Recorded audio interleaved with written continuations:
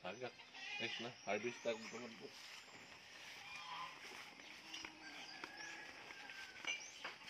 Ano siya guys, ano siya eh, few last batches sa dagon po.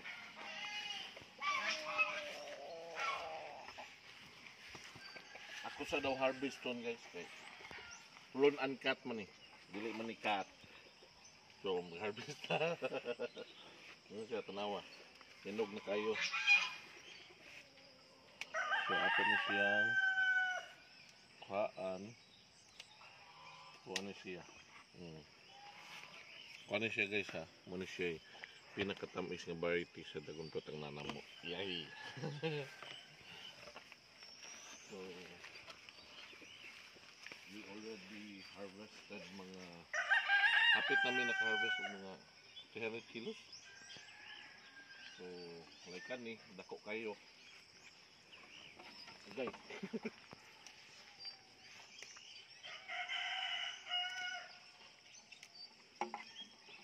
Oh. Guys, unsaon na siya.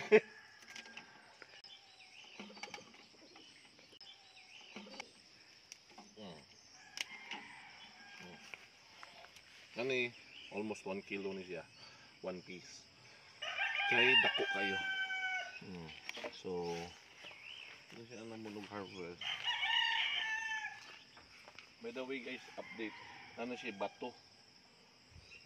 Ilisan ni may abonog ni insect. Ano? Bato-bato sa langit.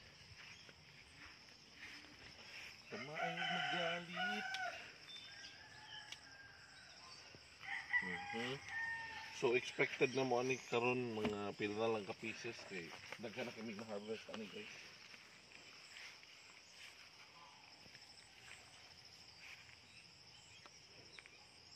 After this season, amo ning pangpulungan ang among dragon fruit.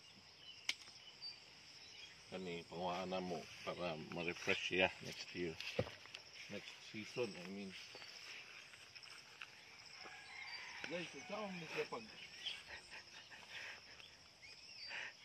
harvest na eh kataas ah pak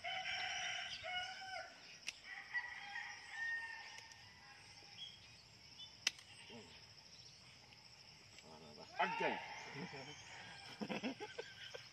Sakit!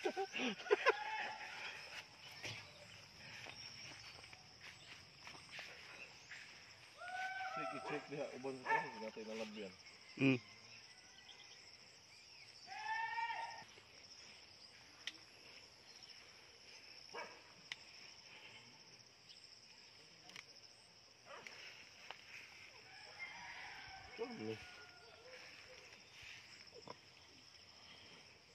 Actually, nami katre guys. Sa yani niya. Nay kanang among kameraman karon sin yang gibali. Mm.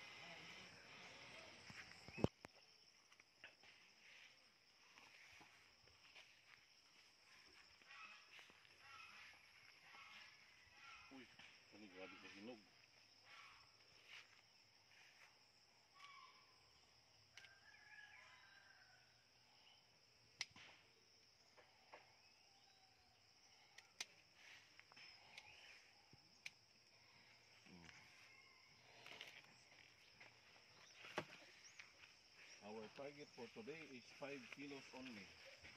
Karot. So, muna siya guys. Ah, ang nabilin ani few pieces na lang last sa last harvest na gina. Pero again, among na harvest ani is almost ah, mga 300 kilos. Naguro. So, unya always sold out yun na siya tungod sa katamis among variety of dragon fruit. Lamit tayo.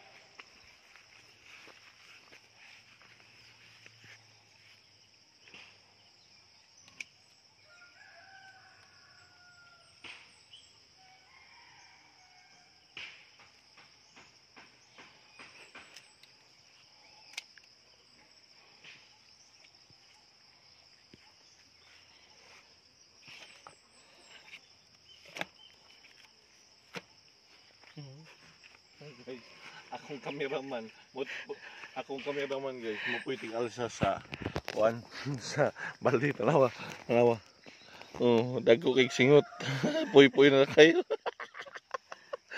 Ay.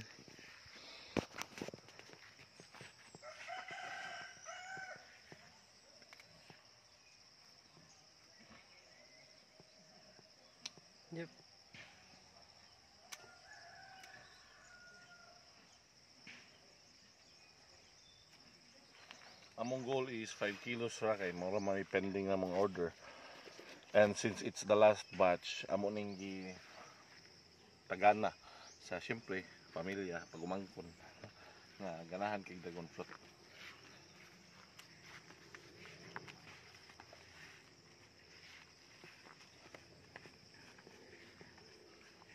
Same man ni guys, one ni siya yung mga last batch. Ano yung mga ani. So, okay na. Lang na few pieces.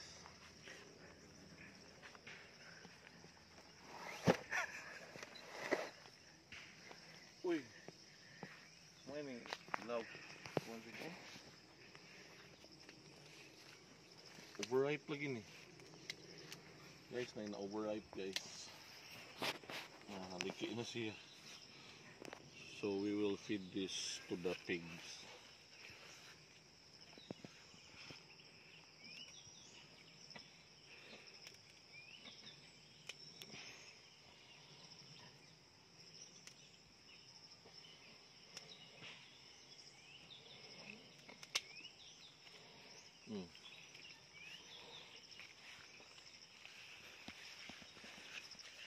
Again, these are the few batches.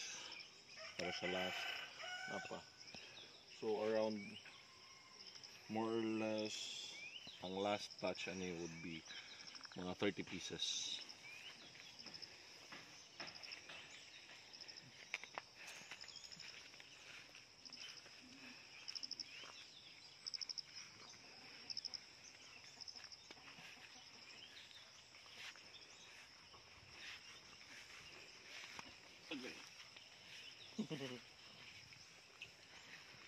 Punik.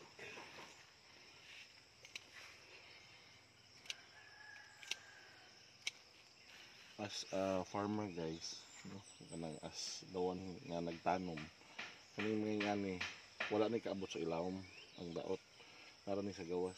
Pero as farmers, mora ni among pwede kanon. na pwede ko tanan pero we chose kani mga ngani kami mukhaon siyempre. Ang gusto may kanang gwapa yun.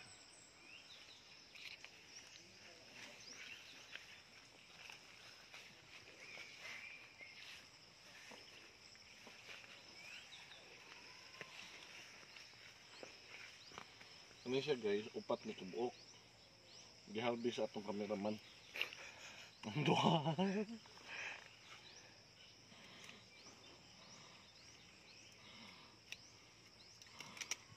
Pila na ka minutes eh.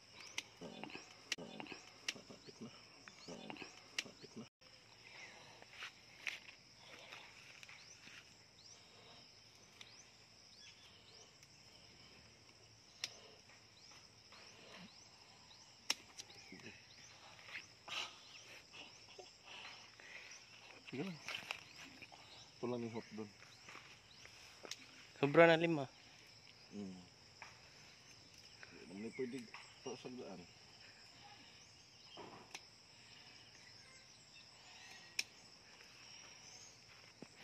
Mm. Yes, ang gihatod ang akong giharvest guys kay puno na yung kamot. Back to the cameraman.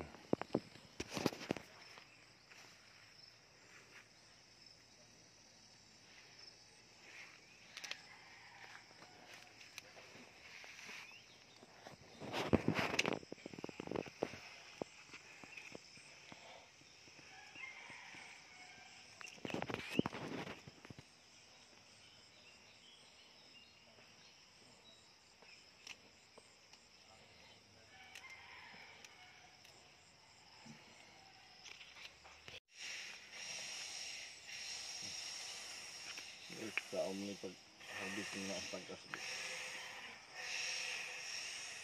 Ay mo harvest ano tagas na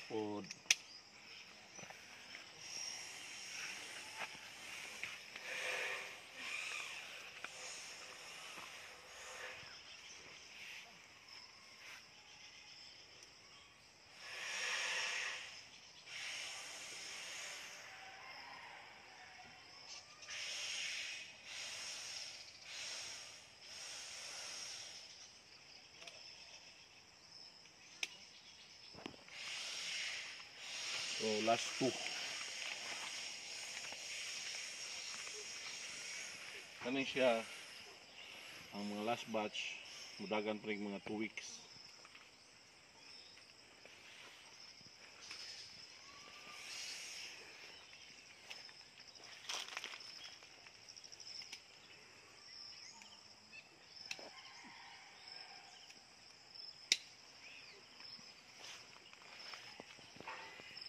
Last one.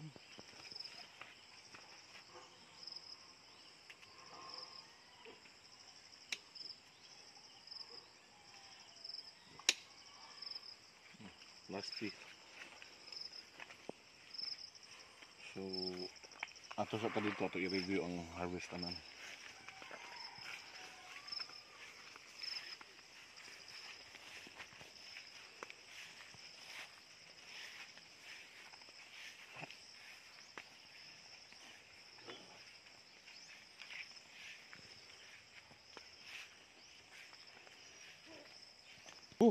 Ah, it's a very hot day today. Nag-harvest mi. Kay need siya apas. Unya, naday may lakatan guys. Oh. Ito na. Ah. Ito? Ito ra, lakatan. Kana. Kana, mato lakatan. Okay?